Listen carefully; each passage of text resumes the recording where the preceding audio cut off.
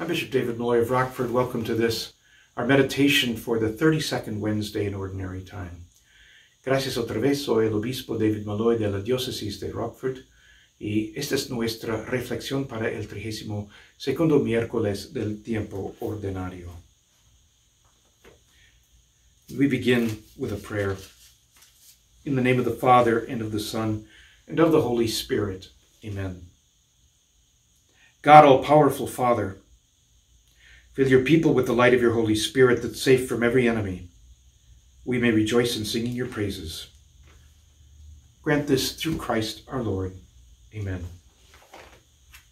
Our reading today is from the first letter of St. Peter.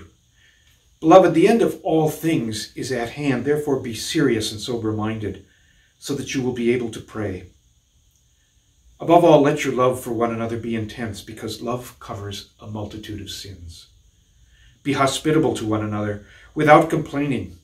As each one has received a grace, use it to serve one another as good stewards of God's varied grace. Whoever preaches, let it be with the words of God. Whoever serves, let it be with the strength that God supplies. So that in all things God may be glorified through Jesus Christ, to whom belong glory and dominion forever and ever. Amen. The word of the Lord. Thanks be to God. Our reading from this first letter of St. Peter that we've just heard reminds us to keep the perspective that the church proposes to us each year in this month of November. And that is, as a healthy reminder and a corrective against getting too caught up in the things of this world, we're constantly to recall the end of all things is at hand. The church urges us to pray for the souls of the dead all through the year, but especially now at the end of the year. As darkness comes early and the plants of the fields begin to dry up before dying, the end of all things in creation reminds us that creation itself, as we know it, will pass away. This world and our love for its beauty, for the pleasures it gives us, these things are only temporary.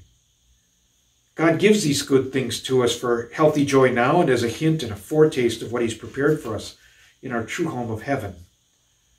But in our brokenness and our selfishness that comes from original sin, we can become too attached to this world, to friendships, to material goods, to distractions of all kinds. And when that happens, we can lose sight of our final goal, the fulfillment of ourselves as a part of life with Christ.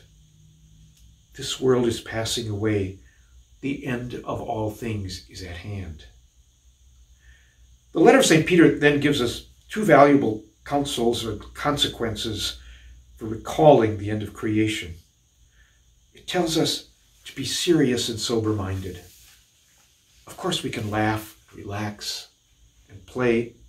All things in this world have their place, their measure.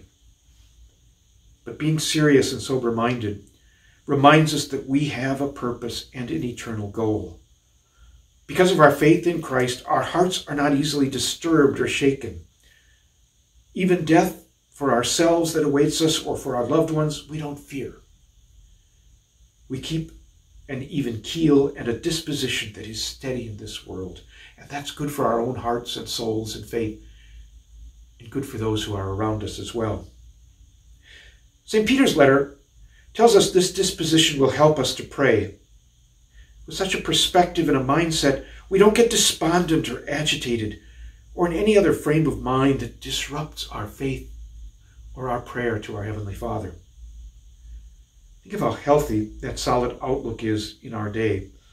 Even now, a week after the election, there's still so much arguing and recriminations. There's harsh language on both sides.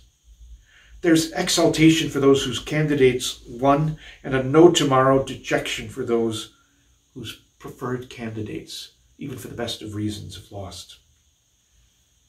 And that is in the context even wider of the last few months where we have witnessed violence and riots.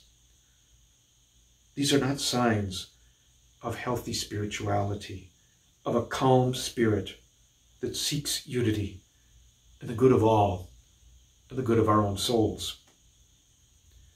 In our country, our society needs us and it needs our faith. It needs our sober mindedness. It needs everything that Christ gives to us and then asks us to use in witnessing to Him. It needs the reminder that all things are passing away. We are to prepare for eternal life. The end of all things is at hand, and better things await us in Christ Jesus.